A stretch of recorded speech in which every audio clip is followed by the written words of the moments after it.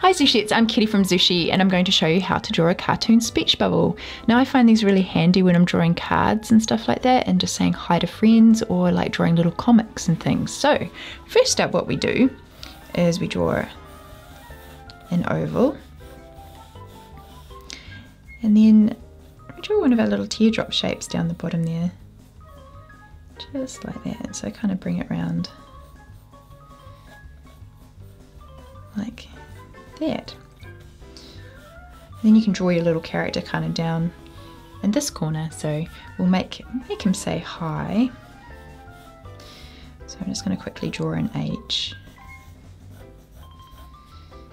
and an I,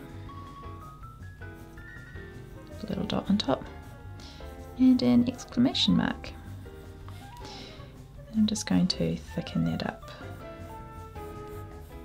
little bit by doing that. I was kind of doubling it in a way.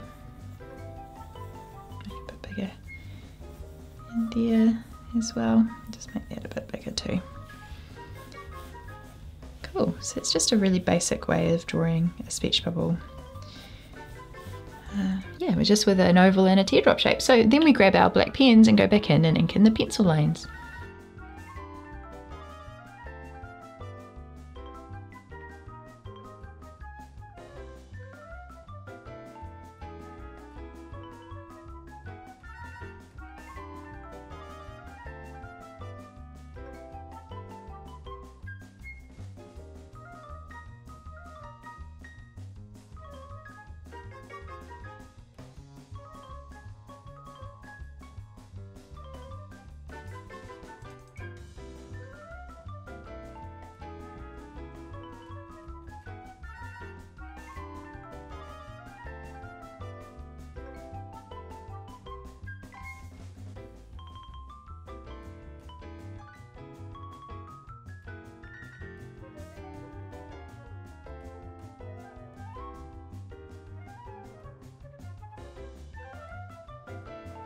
And then we just go back in and double up the thickness of the speech bubble to make it look even more cartoony.